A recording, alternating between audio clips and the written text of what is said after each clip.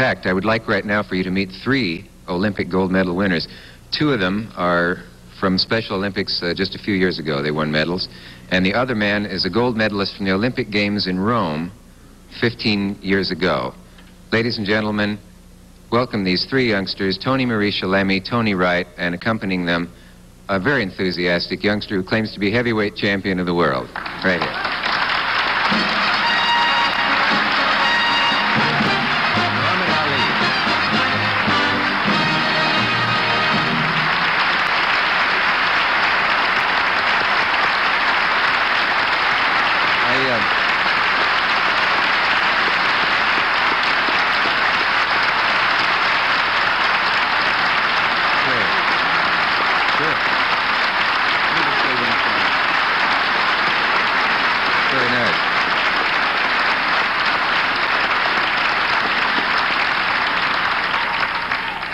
Last, I got my standing ovation. If this is too heavy, I'll help you hold it. Thank you, Dick. You were right. It was 15 years ago this year that I won the Olympics in Rome, Italy. I won the gold medal. Right. That was before these two children were even born, maybe before they were even thought of.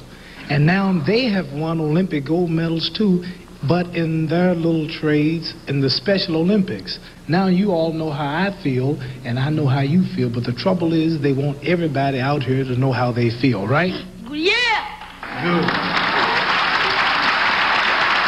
Special, the Special Olympics is something that they not only want the people to know about, but they want them to. They want the people to get behind it. They want the people to support them. And one of the greatest supporters I found out tonight, most famous supporters, is Miss Barbra Streisand.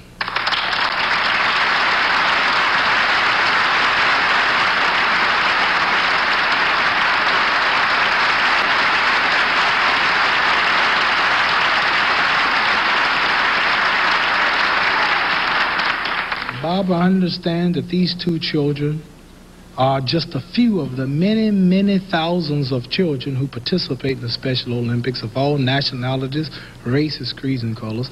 They have gotten together, I found out, and 100% of them have voted that you should also have a gold medal.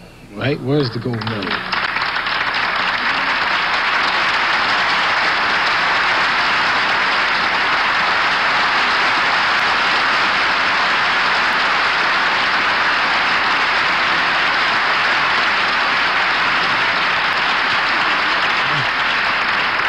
Understand what really touched my heart. I found out that these children, before they go into combat, they say, God, please give us the power, the strength, and the courage to be victorious. But if we don't, make us strong and courageous in our efforts. Also, they told me backstage, out here with the president here and with everybody watching live, to tell the world that they're thankful for all that you are doing to help the people to know more about what they are about. Thank you. Thank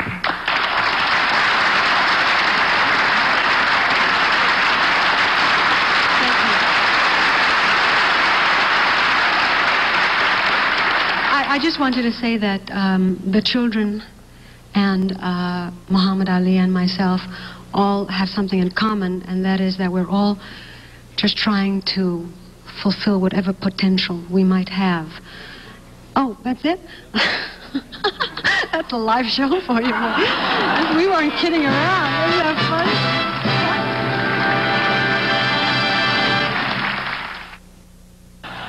This is ABC,